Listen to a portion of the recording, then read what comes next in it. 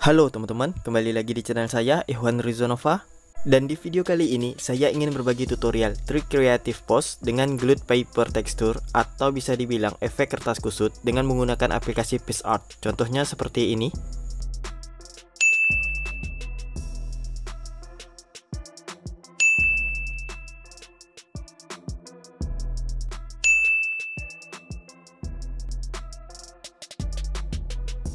Sebelum ke tutorialnya, buat kalian yang belum subscribe channel ini, silahkan untuk di subscribe terlebih dahulu dan aktifkan loncengnya untuk mendapatkan notifikasi video terbaru. Untuk langkah pertama, kalian buka aplikasi PixArt, terus pilih icon plus yang ada di bawah, kalian tap di tulisan semua foto.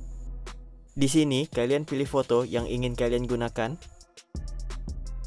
Kita pilih foto yang ini aja. Sekarang, tinggal kita masukkan efek kertas kusutnya, caranya pilih menu tambahkan.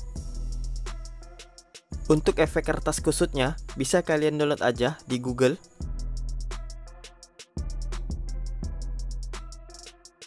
Atau kalian bisa download di link yang ada di deskripsi video ini. Kalau sudah, kita langsung masukkan efek kertas kusutnya. Kita pilih yang ini aja. Lalu pilih tambahkan. Oke, sudah masuk.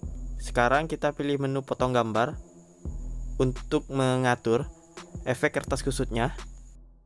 Kita setting dulu sesuaikan dengan foto yang kita gunakan. Lalu kita besarkan sesuaikan dengan fotonya. Kalau sudah pas, kita masuk ke menu padukan.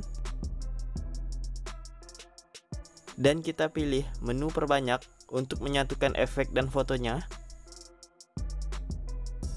Nah, sekarang efeknya sudah menyatu dengan fotonya. Kalau sudah, pilih checklist. Oke, sudah. Di sini, kalian juga bisa tambahkan efek. Pilih menu efek. Ada banyak efek keren-keren yang bisa kalian gunakan. Pilih aja efek yang sesuai dengan selera kalian masing-masing.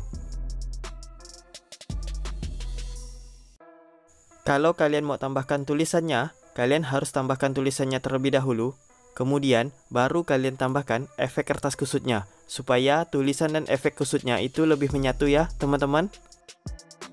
Kalau sudah, kita save hasilnya dan kalian bisa langsung posting ke Instagram atau sosial media lainnya.